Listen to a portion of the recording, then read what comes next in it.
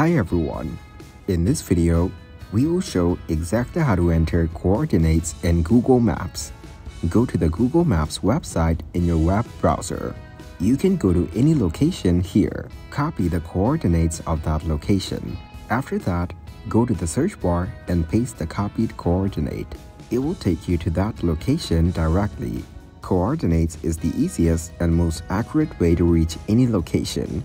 And this way, you can enter coordinates in Google Maps.